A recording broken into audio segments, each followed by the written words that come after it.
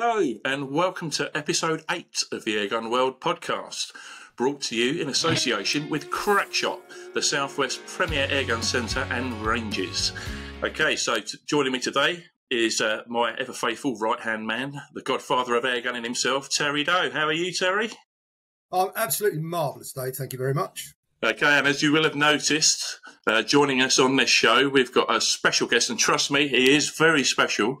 It's Gary Chillingworth, aka Chili. Now, for those of you who don't know who Gary is, um, he is our main man when it comes to HFT uh, competition shooting in the magazine. Gary's been writing for the mags for longer than I can remember. Um, and HFT obviously stands for Hunter Field Target. Now, Gary has been national champion twice, and I believe you've been world champion as well. So, welcome to the show, Gary. Oh, so it's very nice to have you. Uh, sorry, to have you. So very nice of you. To, no, very nice of you to have me. Look, I finished a night shift last night. My brain isn't working very well. It's very nice to be here. Is what I'm trying to say. okay, so it's it's by no coincidence that we've got you on this week, Gary, because I a couple of weeks ago, headed up towards Doncaster to meet the guys at Camelot's Airgun Club to do a ah. feature on them. It's a new new club. Um, it's only been going since September, so about six months. I've already got over hundred members. It's a brilliant setup up there. Um, fantastic clubhouse. Loads of ranges, loads of enclosed booths with benches to shoot. But more importantly, they have got three HFT courses. Now, one of them's an open ground course, Right. Uh, but they've got two woodland courses up there. And I was I had a walk round with uh, the owner, Danny, and his right hand man, Dom, and the pair of them uh, shot their new woodland HFT course, and they both shot like absolute pigs, which was quite funny. I don't, I'm sure they won't mind me saying.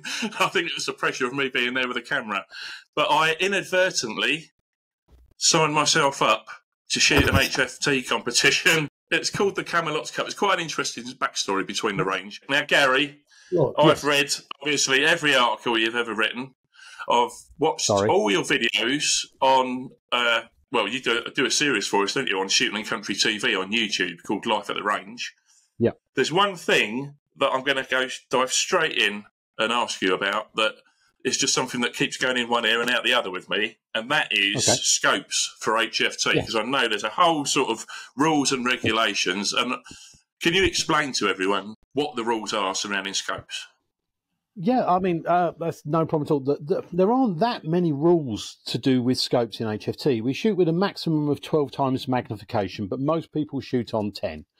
And the reason for this is the biggest rule in HFT is that once you've taken your first shot, you cannot touch your scope. You can't dial in for parallax. You can't adjust windage or or elevation. You can't you know you can't do anything with it. So HFT is shot from eight yards to forty five. So unless you've got something like a Zeiss Conquest or you know a really like a very very expensive scope, you're not going to be able to see everything in perfect clarity from eight to forty five yards. So you have to pick a median parallax. Now my scope is set at 30 yards on the parallax. So that means for me, 8 yards to around about 12 yards is quite blurry. But on the 8 yard target, I have to draw my head back along the scope, sorry, uh, back along the stock, so that I can see the 8 yard target.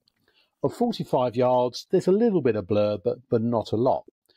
But what HFT shooters do is they use that blur to help you range find a target. When I lay down and I'm looking at a really shoot target, a really short target, if I can't see the kill zone without moving my head, I know it's eight yards. If I can just about make out the ring of the kill zone, I know it's ten. If I'm looking out on the on the um, uh, forty yarder and it's absolutely crystal clear, I know it's forty yards. If there's a slight amount of blur, I know it's forty-five. So having that blur within the scope is incredibly important. But essentially, most people use something like it's almost like I've set this up. Um, use something like this. Now, this is an Optisan CP 10 by 32. Now, there was a scope many years ago called the Hawke Nite Eye Digital. If I don't know if you remember those, but that had a yeah. 50 millimeter objective. But the quality of the glass was so good, you could use it for HFT. So essentially, take your scope, get onto a range. If you can make out all the kill zones, it's good to go. Excellent. So I haven't got to buy myself a new scope then. I'm, I'm shooting a Hawke uh, 12 by 44. Would that would that suit? Yeah. Uh, yeah. Has it got the uh, multi aim point reticle? Yes. Right. So it's probably a half mil dot. So yeah. it, I, I used to shoot the Hawke TAC 30. Um, absolutely amazing scope. I had a 40 yard zero. So the half dot above 40, I think, was everything from 15 to about 35. Then it dropped down into the 40, which was your crosshair, and your secondary parallax, which is like your 13 yards. And 45 yards was half a dot under cross. So as long as, you, right, th- this is, I'm sure we're going to go up to setup later. But when you're setting up your scope for HFT, don't shoot targets, shoot paper if you've got a 35 mil target out of 40 yards and you're aiming in the center, you could miss it 17 mil high, 17 mil low, 17 mil left, 17 mil right, and the target's still going to fall over. If we were shooting paper and we had a group like that, we'd be going, this gun's got to go back, or the scope isn't on straight, or something like that. So set paper out 8, 10, 25, 30 yards out, shoot paper, and then learn your aim points from there. That makes complete sense. I mean, you're you're obviously used to doing that, Terry.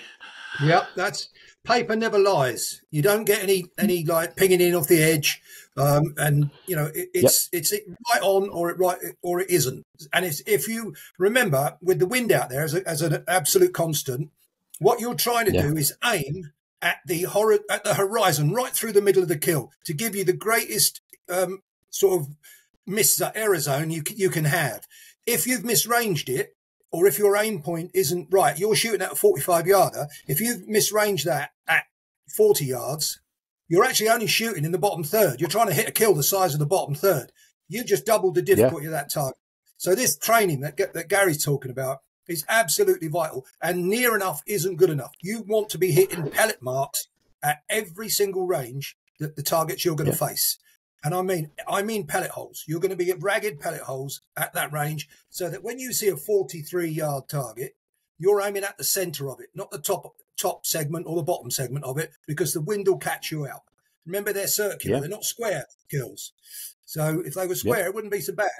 But they're circular, and you you will double the difficulty of a target by misranging it by five yards. Yeah, and we've got 25 mil targets that go out to 40 yards. Now, if you can imagine a 25 mil target, if you're aiming the bottom of that, if you're out by a couple of yards, when you're talking about that curve at the bottom, that's less than a 15 mil. You know, yeah. and you're now shooting at a sub 15 mil at 40 yards in wind, and you might have elevation, so you're having to aim up or aim down, and all of these things are designed to catch you out because gone are the days where cool setters stick out 40, uh, 40 millimeter targets at 40 yards. Everything is now to the extreme. You know, you mm. go down to Malden District Airgun Club, and each week you're shooting a, a world class quality course, and there are no little Jimmy Gimmies. Everything is there to push you to the you know to the extent of what you and the gun can do. That's what it's about. Eliminating variables, and the greatest variable is you and the wind. The wind mm. will always be there. You don't have to go out the night before and get slaughtered and come there with a thick head and, and you're not functioning. That's down to you. Depends how much winning means to you. If yeah. if you can eliminate the variables on your rifle, which they if they're set up properly, they'll outshoot everybody in the world. And the, and yeah. the pellets, you can eliminate those. You can eliminate the variables on the scope, but you'll have lighting conditions and weather and wind and you. And they're the variables you've really got to attack and training and knowing what you're shooting at to the yard is the best way to do that. I mean, Terry's just touched on something there, you know, about it being you and not the gun. Um, I shoot obviously a, a, TX 200, but the biggest variable, I, I think is, you know, I, have said this on on the videos a lot recently and in the magazines that my shooting has taken a big dip. Um, I used to be averaging with the spring gun uh, 53s, 54s out of 60s, and that's dropped down to, to mid 40s. And I've been on a on a search trying to work out what has gone wrong. And it's a mixture of things. It's I became diabetic. Um, I also am not getting enough sleep because I say I'm a train driver and I work night shifts. And I started to plot and this is another thing you can do with HFT, I started to plot my scores. And I found out that if I was finishing a night shift on the Sunday morning, jumping in the car, grabbing the gun, going to a shoot when I hadn't slept, my scores were terrible. If I'd eaten something, if I had a bacon sandwich or something like that, spiked the blood sugar, or wasn't drinking enough water, it all affected my shooting. However, when I started being sensible and getting a night's sleep, having some porridge or something that was slow release, hydrating properly, all of a sudden my scores were back to what they should be 52s, 53s, 54s. So it's Great all point. about not just training with the gun, it's about training yourself and listening to your body, especially when you're getting. Look, um, our current HFT world champion, uh, Alex Honeywell, he shot he won the world championships of the WHFTO and the WHFTA and I know for a fact that at this year's world championships he'd been out at Disco Bulgaria the night before with Richard Woods and was dancing and drinking and and canoodling until four or five o'clock. I don't know if it was canoodling, but it was definitely dancing and drinking until four or five o'clock in the morning. Had two hours sleep in the back of his car, and then won and world the world championships. He's in his early twenties. Yeah. If yeah, I tried to thing. do that, I would be in a puddle. I could do it religiously once, but uh, after a while, the older you get, certainly when you hit 40, when you hit 40, that's a. You've got some time to go for that, Gary. I know you're dreading it, but um, no, you've got to. Again, it's just how much do you want it? How much do you want? Do you really want to go on the night out with the lads the night before, or do you want to put your all Yeah. into that competition? And any level mm. of acceptance, any level of expectation is fine as long as you're safe, legal, and then you're enjoying Yeah. it. But if you really, really want it, don't undermine yourself the night before. That's that's what I'd say. Don't undermine your, your chances and then think, oh, I should have won that.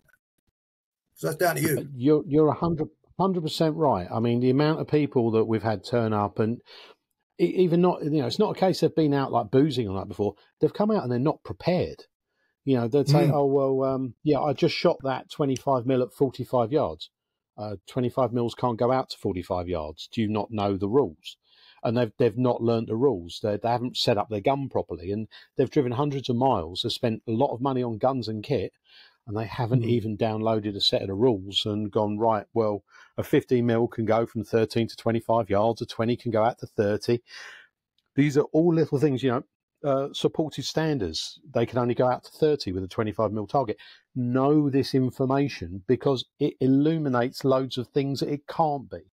And that's a, a good trick in HFT. Sometimes you can't work out what the range of the target is, but you can work out what it isn't. It isn't. And if you Yeah, can eliminate everything that it isn't, then Mm. you can go, right, well, it's now between this thing. So I'll put the middle of that in the aim point. Then look at the history and everything is low. You know, it's probably shorter. If everything is high, it's probably longer. And you can start to, you know, you can go, right, I'm going to hedge my bets. And it, it will definitely Yeah. help. It's. I used to call it the luck zone. The luck zone is far better if you've eliminated the need for luck as much as you can. Yeah. If you if the luck zones put you at 44 yards and the target's at 45, then you're then you're doing pretty well. If you're relying on luck and the target's at, at 45 and you you're shooting it for 35, you can forget your luck. You ain't gonna have that amount of luck. But as far as as far as the um, getting prepared and all that, do you know I for individual competition, it didn't used to bother me. In fact, I, I'd quite laugh at it because I thought, well, if you've taken yourself out of the game by getting slaughtered the night before or not preparing, Yeah. then that's more of a chance for me. But when I, when I did dig in and I was a real pain over it, was team shooting. Team shooting Hmm. was a different thing. Everybody, imagine that. Every other member of the team has worked really, really hard, and they trained, and they were down the club with me at you know silly times when they should have been doing better things. And then one guy's not into it. He's going to undermine it. And you know, one bad team score, one bad shooter on- on a team score, that's Yeah. the end of the team. Then I would kick off. And, and in the end, I said, look, I'm not even going to do this if you're not all going to take it seriously. Otherwise, we'll all have a good old laugh, which I, I love to do more than anything. But team shooting, different game. I was horrible for team shooting. I, back in I think it was 2012, 2013. Um, I, I shot for Team England with a with a PCP at the uh, the World Championships, and I'll tell you what, the pressure because it's a six man team, and you know it's done by the top Yeah. uh, from the previous year, the top six shooters in the nationals, and the pressure that it's bad enough letting yourself down, but letting down the people around you, that's really what you don't want to do. And I, yeah, I found that one of the most high pressure things. Uh, I don't know if I enjoyed it. I love the winning. Uh, we won the world yeah. team title and and, and uh, some districts and stuff. But when without being without being big headed, when you are expected, like you would have been, to put in a good score, they're banking on yeah. you, mate. They're banking yeah. on you. And, and, like we beat ourselves up enough as it is if we miss something we should have hit. But if you're doing it on behalf of five other people and your region or your country, oh man, I don't even know if I I used to that that was more pressure on me than absolutely anything. But when you won, oh, that was that was pretty intense too, wasn't it? Yeah. Come on, we're, we're going to be scaring people off with all this because from from it's my very limited experience, HFT like bench rest shooting is all abilities, all ages, hundred percent, boys, girls, kids, OAPs. It's really accessible, and it is, from what I know of it, uh, at club level which is what everyone, if they want to ever go at HFT, that's what they're going to be doing. It's a, just a really good day out and a good laugh. And there's loads of yeah. Mickey taking and bacon sandwiches, and you know, it's there's none of this pressure that you guys have just been rattling on about um, at no. top level. You know, it's it is uh, very accessible. But so let's let's to keep that in mind for people watching, listening to this that have never shot yeah. HFT, like myself. Yeah. Um, can you run us through a basic uh, course, what, what are the rules? I know you've got targets from eight to forty-five. They're yeah. they're ground level, they're chest level, they're up in the trees. Yeah. Um, how, how, how many targets do you have? How, how does it score? What's what's the game? Right. Well, so you're 100% right. Um, I mean, me and Terry have been talking about the World Championships and that. And even if you go to the World Championships, you've got people there who are relatively new to the sport. Um, the whole point of HFT is it is fully inclusive. So whether it be a national, a local, a world, or something like that, no matter what your level, if you are safe and you're happy to be there, we're happy to have you. Now, I'll give you, for instance, at the last uh, two weeks ago, I shot at the amazing Wendover Airgun Club. Um, it was round six of the Southern Hunters. And within that Southern Hunters, we had youngsters like Ollie Usher and Oscar Usher. They were, I think, they're eight and 10. And we had Jean Greatrix, who was in her 70s, shooting off sticks. Now, within an HFT course, you've got different classes.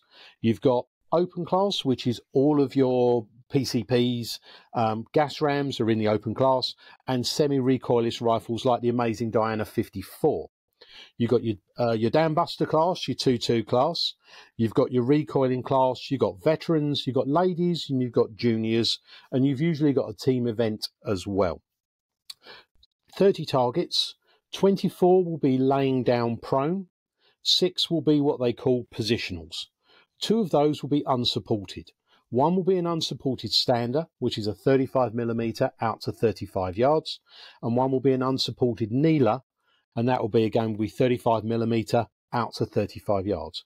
You've then got four positionals, which are two stand only, which is supported. So you'll have a tree or a fence post or a hay bale, which you've got to stand to shoot. And then you've got two which are kneel or stands, and they can go out to 40 yards. And you've got a choice. You can shoot them kneeling or standing, but again, they're both 35 millimeter targets. Um, target sizes are ranging from 15 millimeters from 13 to 25 yards, 20 millimeters from 8 to 30, 25s from 8 to 40, and then usually uh, for 30 millimeters, 8 to 40, the same as 25s, and then your 35 mil will go out to uh, 45. Sometimes you'll get a 40 mil thrown in the mix, but you don't really see them very often. You just mentioned shooting off sticks. Now, when I was yes. up at Camelot's, Danny and Dom went round for, for a round of shooting. They said, "Bring your gun, you can have a go." And it was like, "No, I've got my camera. I want to take some pictures of you guys for the feature in the mag." Um, but they were shooting off sticks, and they said they, they, they alternate between shooting HFT off sticks and what you've just explained. So yeah. I'm, I'm, guessing that, that, that, the sticks option is a, a, a, league of its own, and that's designed for people like us, really, oldies, who can't get down on the ground and kneel very often. And, you know, if I'm laying on the ground for 24 prone shots, it's going to take me half an hour to get back up again because my back. Right. The, the, the, stick, the stick thing has become massive in the last couple of years. Um, the vast majority of us shoot HFT prone, and sticks was brought in. Initially, it was developed uh, a, a, gun club called Iden Ferns, and there were a few other. I mean, Gillies uh, hunters have been using the, the, the quad sticks for years, but it started in Iden Ferns, and there was, I think there was a couple of people up north doing it. But then these Iden Ferns guys came to Malton District and we developed this thing called Para HFT. Now, people thought it stood for like a paraplegic or, para, you know, or something like that, you know, or para as in military. No, it's parallel. It is a, a completely separate type of shooting that shot parallel alongside HFT. Now, you'll have a, a usually a tripod, and I've got one here. Now, this is a prototype of a clamp that sits on top of your sticks. This one's developed by Bob Patterson and it's adjustable. Now, you can't actually clamp your rifle, but what this is, is if you've got a rifle with a narrow end, you can sit that in the V. Or if you've got one with a bottle, see, I'm already prepared, you've got a bottle that can sit in there. And it sits on there, and you can. and most rifles, I've got my, this is my stick gun, now let me just grab it without dropping it. Tony Belas would not be happy. This is my stick rifle, and as you can see, it's got a stop on the front.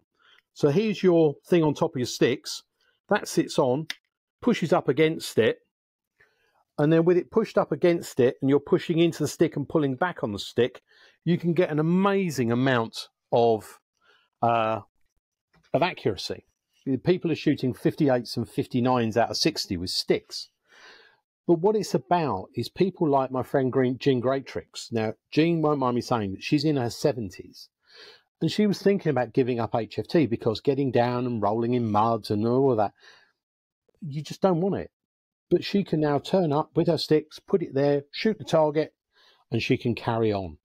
And this is what stick shooting has done. It has given so many people the ability to continue shooting. It's, it's best. Mm-hmm. It is the best thing that's happened to HFT in years. Right, I'm going to give a shameless plug to the magazine now. Uh, this one's uh, still on sale. Uh, it's the, the April issue. If you want to subscribe, there'll be a link down below in the description, or you can head on over to airgunshooting.co.uk and check out. We've got loads of different uh, subscription offers on there. You can also sign up to our newsletter uh, at uh, airgunshooting.co.uk as well. Um, now, here we go. This is your latest feature. What to do in 2024? You've just mentioned the various classes, uh, yes. etc., etc. But you know, people listening, watching to this will probably be thinking, "Oh, it's all about PCPs and stuff," but it's, it's not. You've just mentioned that you shoot an Air Arms. Uh, was it TF200? Um, so there is a Springer class, and you've won competitions with that rifle, haven't you? Yes, this is um, actually, Dave. While I remember, uh, somebody actually mentioned to me the other day. I know this is the wrong place to ask. Um, do you still get the free insurance with the magazine? Yes, you do. You still get better insurance when you subscribe. So. No, I had an email earlier on from a guy saying, Gary, I want to get a subscription. Do I still get the free insurance? I thought, I don't yes, know, but do. I know a man who will. right. This is my TX200, I, I, would say there are many like it, but this one is mine. But no, there aren't many like this. Um, many years ago, when I was working with your predecessor, Matt Clark, at the uh, at Air Gunner magazine, uh, we had an email from a reader that said, Gary, I, I want an aftermarket stock, but I can't afford the five or six hundred pounds that it costs. So I sat down and went, can we build an aftermarket stock for under 50 quid. And I thought, let's have a go. So I got I pulled this scrap TX stock off of eBay.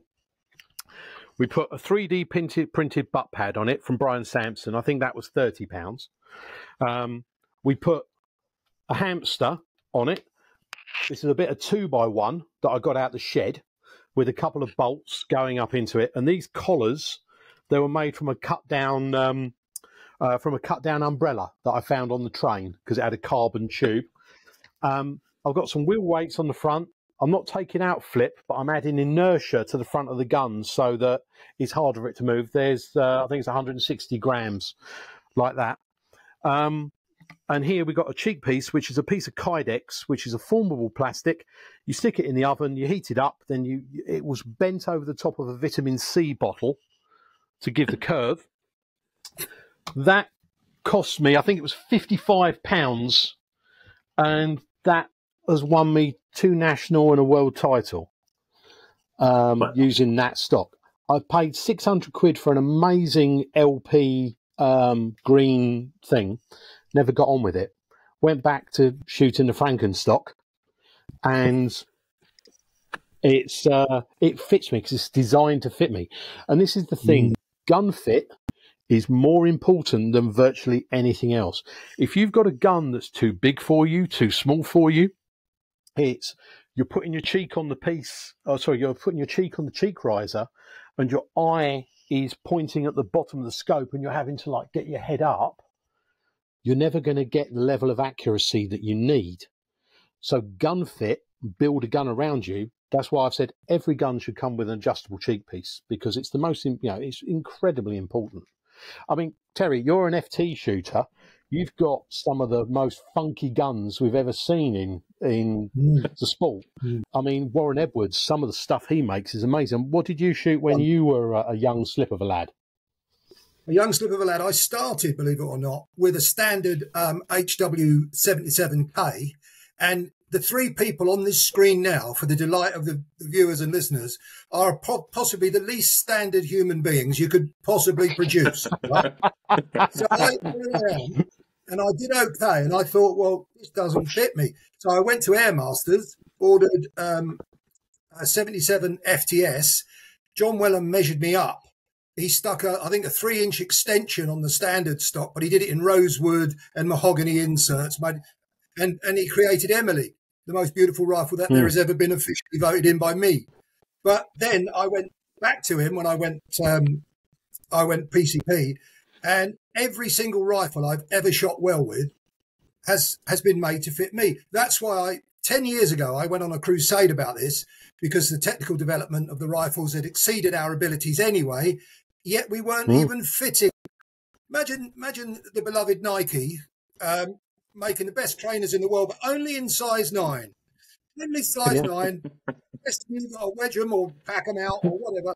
It was ridiculous. And I will tell you now, and, and the, the priceless queen of all of our sport, Claire at Air Arms, will confirm my nagging led to the, the, the rifle that we all know and love, the Ultimate Sporter because I yeah. said hunters, hunters actually should have rifles that fit them even more than target shooters should, because the result of inaccuracy in hunting is wounding and it's yeah. unacceptable. So yeah. that's where that all came from. And I totally agree with you. Gun fit is the most important thing. The, the mechanical performance of the rifles has left us ages ago, back in the first day state days. But we've got to you know, I, I, I would recommend everybody to do my little test of safely pick up your unloaded and uncocked rifle, close your eyes, put it to your to your shoulder or the position you you shoot most. Keep your eyes closed, and if when you open those eyes, you have to modify your position to look down the center of the scope, you need to make some mm. changes. Changes need to be made because you're compromising there, and there's no room for that a really good trick as well if you can do that. Sometimes if you've got a, uh, I've got a, um, uh, a, a Vortex Viper Gen two, and it's got a, a four. Um, the, it's got a very very large ocular uh, ocular lens. Mm. And you can put it up to your eye, and you could be looking through the bottom of the lens at the uh, the ocular end, you know, the, the end by your eye. Um, so you don't know if you're looking through the dead center. So this was taught to me oh, I can't remember who it was who talked to me. I've got, yeah. Um, basically, wrap the the end of your ocular end in tinfoil, mm. create a small hole in the slap bang in the center, and then put the scope up to your eye. And if you hmm. can't mm. see through, if you're still looking at tinfoil, your mm. cheek piece needs to be adjusted. So yeah. be aware that you might not be looking through dead center. Mm. We used to do the same with Butler Creek lens caps. Um, if Yeah. you if you had a, a 10 mil hole, 12 mil hole in the end, uh, that would sharpen up. Not only would it train you to get your eyes right in the middle, but it would sharpen up the close targets as well. So um, Yeah. I know you can't do it in HFT, but as a training medium, it's perfect. Yes. And it's so important. Remember, the position of your head will dictate the, the, your neck muscles, your shoulder muscles, and it's a big old look at Yep. these three heads in front of us. Big old lump, your head, isn't it? And and if it's if that's hanging out there to dry, the rest of your body and your stance has to has to compensate for that dirty great Yeah. weight hanging out there. So get it right, get it absolutely right, and take all the even with adjustable guns, even with adjustable cheek pieces and butt pads. If you're if you've got that right in under an hour, you've got it wrong. And when you go back to it again, you'll probably have to adjust it again. But keep doing it until it's Yeah. dead right, because we change. We actually change. Yeah. None of us are the uh, Oh. the athletes we used to be. You know. the, the thing is, as I'll just touch on another thing, and this is something that we get all the time in HFT. People will rock up uh, again at Morning District and they'll sit on the benches, lovely and comfortable, and they'll shoot their targets, you know, 35, 40 yards, and they'll set their gun up. And then when they lay down and prone, because when you're sitting on a bench and you're like that, that's great. But when you're laying down, your head is Mm. in a completely different position. And then all of a sudden they're missing high if you're going to shoot prone, train prone, set up prone. Don't expect Mm. to shoot from a bench and then everything be the same when you're laying down because it's going to be a completely different aim point. And, and what perfect. Terry said there is is very true. If you turn up at a shoot and you're dehydrated or you're a bit puffy or something like that, you can actually don't use that fleshy bit as your as your uh, as your reference point on your thing. Use that bone because that bone Mm. will never move. That's part of your skull. So when you're Mm. setting up, you push down with that bone onto your cheek cone and look through there. Don't use that fleshy bit because that changes depending on how much hydration you've had. There's there's one last little thing I'd like to add to all that.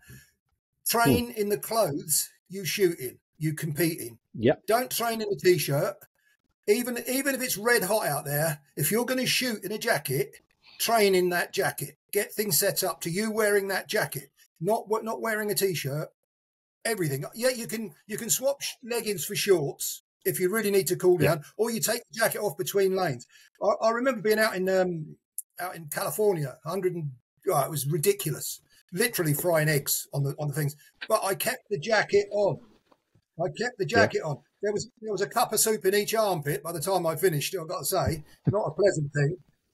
I'm surprised their customs didn't impound it on the way home. But again, it's inconsistency. You you keep consistent, and what you wear should be should be what you wear in competition should be what you wear in training. Every bit of it: gloves, jacket, boots, same boots.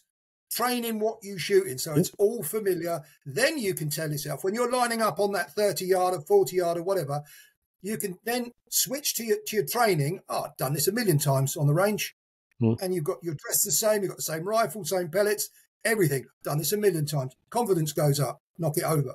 It's all about consistency. Terry, you've just mentioned gloves.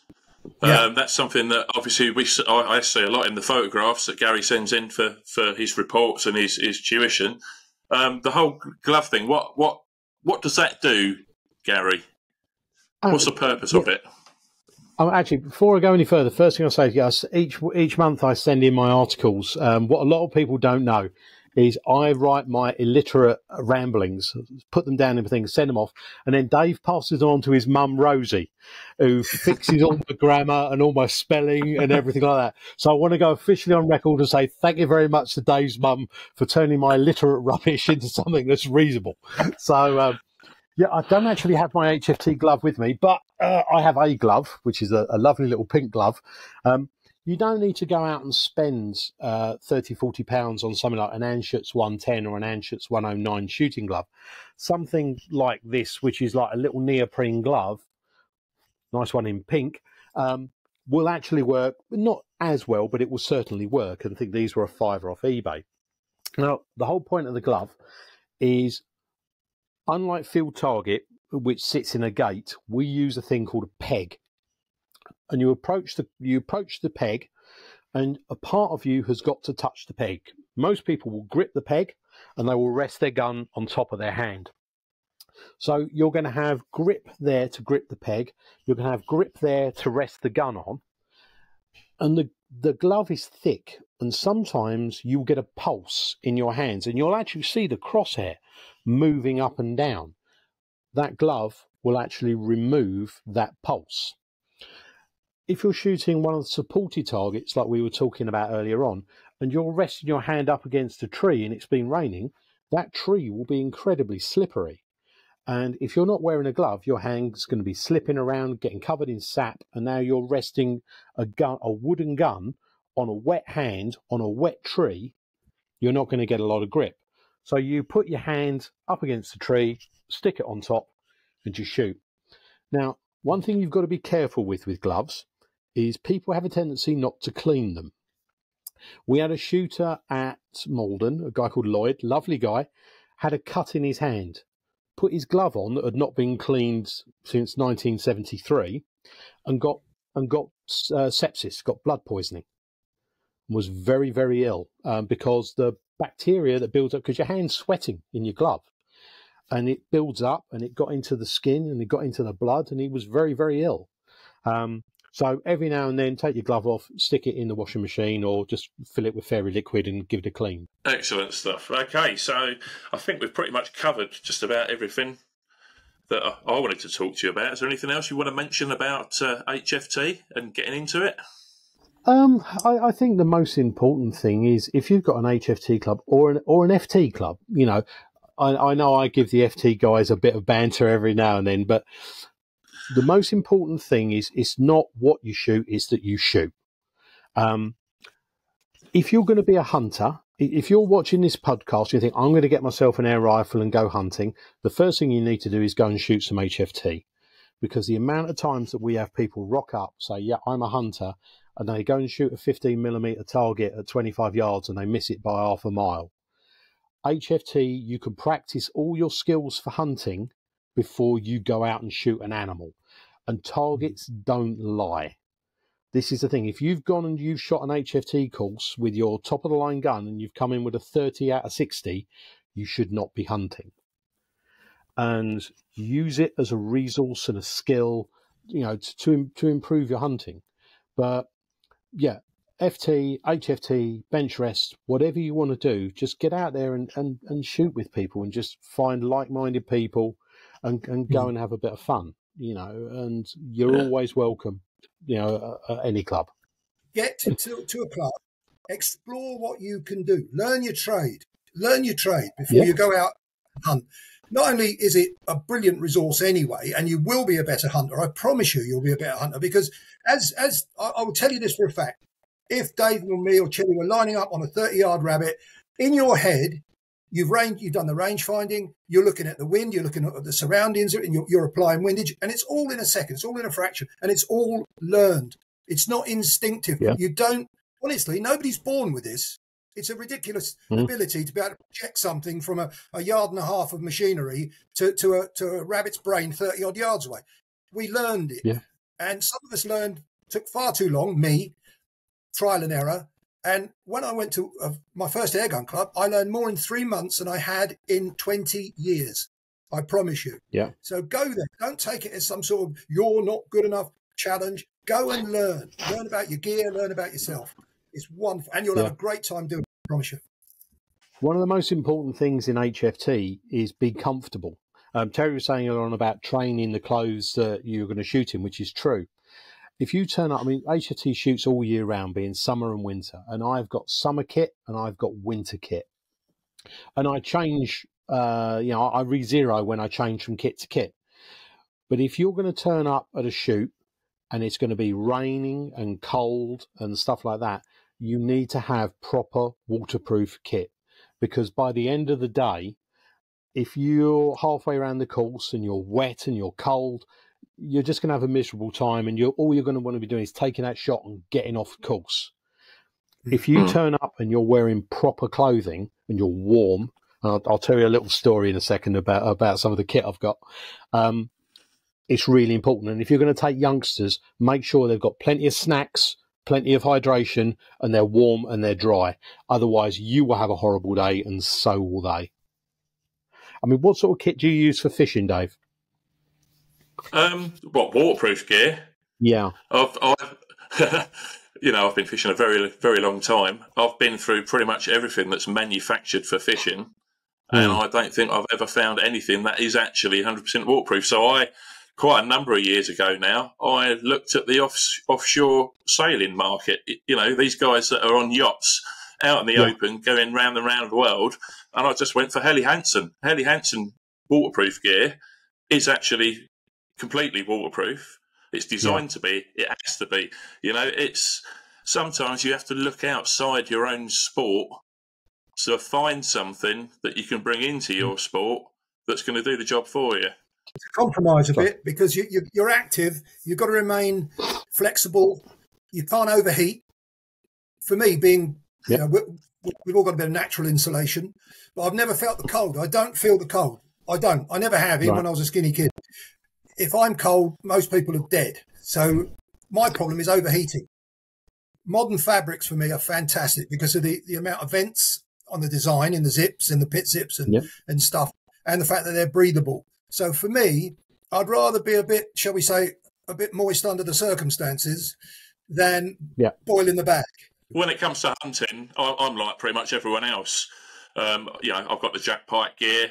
Um, Yeah, I've got a, a, a, decent, a decent set of Seeland uh, Mm. oh, nice. waterproof gear, which is uh, you know it's not completely waterproof. It's designed not to be completely waterproof. It's it's such a fabric that you know you can see the, the water evaporating off you. You can see the steam evaporating off you. It's that it's that sort of stuff. So yeah, as, as far as shooting goes, you're never out there for that long. When it's chucking it down with rain, you find a bit of Yeah. cover under a tree, or you give it an hour, hour and a half, and think, "Well, sod this, I've had enough." you know? But if you're out on a boat fishing, hence your, your question before, you're out there for twelve hours in the elements, and you know you needed some, some proper gear. So I, I I don't know what you guys wear as boots, but back again from the fishing days, it's I found a company called Tactical Five Point One One over in the states. Did a bit of research, and they make all the military boots and the police Hmm. boots and the firemen's boots and special forces boots for pretty much every country in the world. You know, all the all the services and, and forces they make all their boots. So I ordered a pair of, of tack lights, and they are extremely light, some winter boots, and I've had them 14 years, and they're still going Wow. strong. And I wear them for fishing all the time, and I wear them shooting all the time. But you know, Yeah. there's loads of other great boots out there designed for the shooting market. But again, I looked outside the discipline.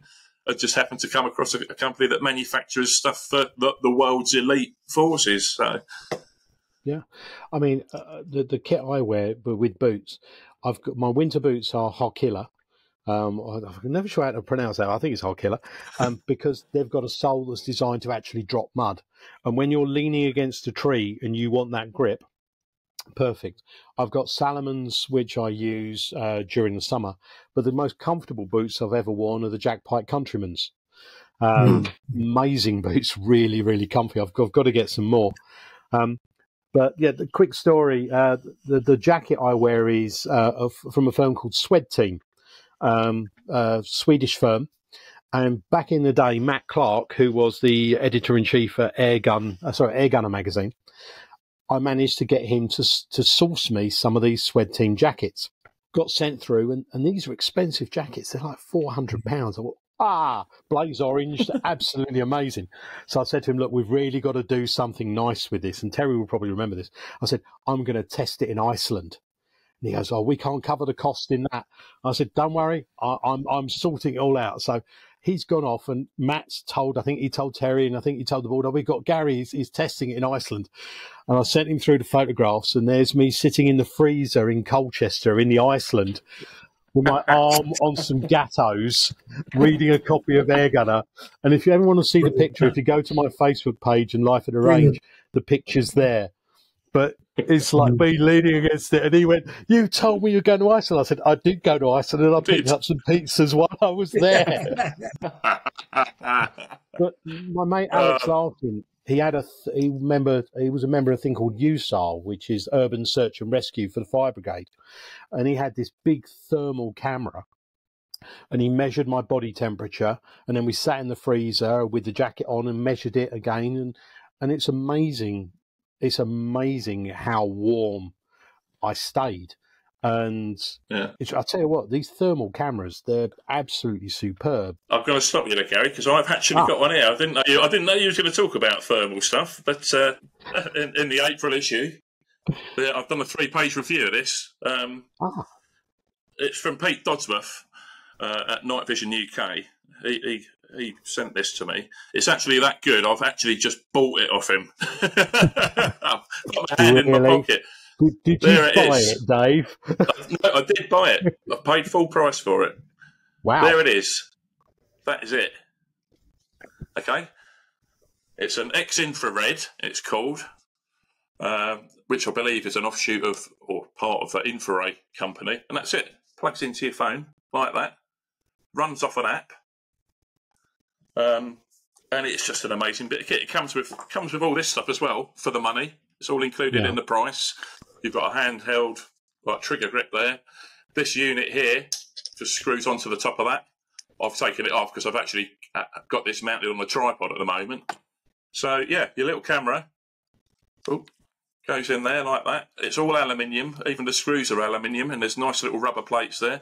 So that screws in there like that, and then you just put your phone on that bit there, and you're actually using your phone as a thermal imaging camera. And the guys in the states, while I was researching this uh, for the review, the guys out in the states are using these things for shooting wild boar and, and deer and various other animals over there out to sort of 500 meters. That's how good it is. And Wow. everything's controlled off your, off your screen, off an app. Um, you've got all your, as you would have in a, a normal monocular, you've got all your settings, your red hot, your white hot, that purple and pink crazy psychedelic screen you can choose, plus there's loads of other functions. It's high definition, so you set your, your the app to HD, and you can take photos and record video through your iPhone or Android. They do an Android one as well in in high definition, and the video is as good as it would be if you were just videoing your mates on your iPhone. Wow. Um, you know, it's phenomenal, and the, the whole lot, the whole kit, the bracket, this, you've got connecting lead, the whole shebang comes in a in a bigger case, and it's three hundred and sixty five quid. You know, you, if you look at a, a relatively decent monocular, you're looking at a grand. So Yeah. for anyone who's watching this, give it a go. Just if you want, if you're desperate for a thermal imager spotter, and Terry will agree, it's completely revolutionised. The way, the way that we hunt. Absolutely changed the way we hunt. Um, yeah, grab one of them off, off Pete at Night Vision. While I'm on the subject, I shoot. I use a thermal spotter, like most people do, but on my hunting rifle, which I've got here, I've got just a, a normal. This is a HikMicro Cheetah, but it's just a, a, a night vision um, with an infrared torch on there. It's got a rangefinder as well. But I thought I'd give a shameless plug to Eagle Vision Cam because obviously this is a BSA R10 SE super carbine. Now BSA use 13 millimeter dovetail rails. Most of the, the scope rings you get are like the 9 to 11 mil dovetails. I searched and searched and searched. I was looking in China. I was looking all over the place for a 13 mil to Picatinny converter. And then up popped Eagle Vision Cam. They're the only company that I've found that do these. So anyone that's got a BSA of any description that wants to convert their dovetail to a Picatinny so they can mount a thermal or a, a, an infrared night vision unit. This is 100 mil, this, this Picatinny rail. And I don't know if you can see that, if I can get it closer to the camera up against my face. That's how high it is. It's about four millimeters thick. Uh, the ones that I had that were nine to eleven mil converters were like coming up here somewhere. So I've dropped myself a good eight or nine mil, which has brought my scope lower to the barrel, which, as we all know, is a, a good thing. So, So yeah, if you if you own a BSA and you want to convert a rail, get to Eagle Vision Cam and, and have a look at what they've got. And again, I paid for that. I didn't send it to me. I just bought it because I really needed it. Actually, Dave, Dave, I know I'm, I'm being thick. What is the difference and what are the advantages between thermal and night vision? Okay, so thermal really comes into its own at longer ranges for people that are shooting like foxes or deer or wild boar, anything like that. Thermal at that sort of range, 100 yards plus, um, you get good definition. The problem we find as air gunners, when you're in a barn shooting rats at 15, 20 yards, or even in a field shooting rabbits to some extent, you just got an orange blob. The definition really isn't there as it should be when you're looking for a scope. For instance, if you're shooting rats on a on a muck heap, it's very very hard to tell which way they're facing with a thermal orange blob mm. right. through the scope. You know, they could be facing up, down, bum towards you, head towards you. That's why Terry and I prefer to shoot um, infrared night vision because you can see the animal, you can see absolutely everything, you can see its eyes. I found that if I tune the, the color palette and the focus and stuff, the brain of any animal glows hottest. And that I've, mm. I've trained myself now, even on the rats, the close range rats. I've been using thermal extensively lately. Now I can see which way they're facing. The the one that cuts across everything is the spotter. The spotter is for it. Get a spotter, get a spotter, and then go. I find yes, there is greater definition with night vision. Definitely, um, you can see hairs and nostrils and stuff, but the locking onto the target there's nothing like a thermal that shouts out, hey, here I am. It's got a, an yeah. orange bulb inside it, you know. Um, whereas with the with the um, night vision, you're you're kind of relying often on the shine back from the eye, that the, the, the infrared's looking up. It's very much yeah. uh, you choose your own deal. I'm tuning myself right into thermal now. Really am, and I'm I'm becoming worryingly addicted to it. I've got to say, um, I'm wandering I'm wandering the fields at night far more than I should be. Uh, really, Terry's just touched on a point. Thermal as a spotter is absolutely fantastic. Now, this bracket, like I said, that this has revolutionised the way I shoot rats with my mate Simon, who's my shoot partner. We've got some various perms up here for rats and rabbits now. Now we sit in a barn or out in, in, a, a, in a junkyard that we've got to shoot that's got loads of rats on it. We sit on chairs.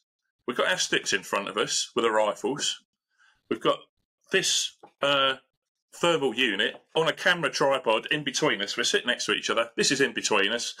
It's got pan and tilt on the tripod, and we draw an imaginary line down the perm.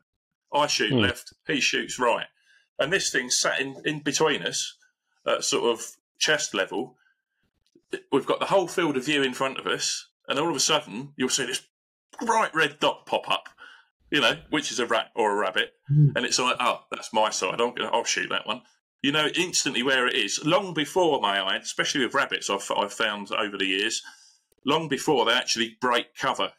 The th- thermal's great for shooting through grass. You'll see a tiny bit of red, or even like as Terry's just said, white sometimes you get the white glow before you get the red come out, and, and you know there's a there's a, an animal there trying to break through break through the cover. La- night before last, I was out shooting rabbits with my mate Simon on a, on a new permission, and I've had a scan round with this. I've turned round and I was like, "What? What the hell was that?" First, I thought it was a cat. Then I thought it might be a, a small fox and like Terry said, I, I zoomed, I, I, I, zoomed in slightly and, and, adjusted the focus. It was an otter running through a rabbit field, and I thought, wow, that's a bit strange. But yeah, but it's the, the, the, stuff you see with the thermal and the night vision when you're out at night. Yeah, it's fantastic. Okay, so everyone, I hope you enjoyed that. Thank you very, very much for watching. Uh, as as always, thank you to Terry and thank you to Chili for for joining us. Um, and also, thanks once again to our show sponsor, Crackshot. If you want to find out what they're all about, and they, they do some uh, a really good service offering bespoke gun kits and that sort of stuff, head on over to www.crackshot.uk. I'll put a link in here. And again, head on over to our website or click the link below, subscribe to the mag, and sign up for our newsletter, please. And we shall see you all again in a month's time. Uh, I believe Matt and Richard uh, in two weeks, they're talking to John Hatton from BSA. So that'll be a good one. Make sure you tune in for that. That's about it from us. Thank you very much, everybody. See you soon.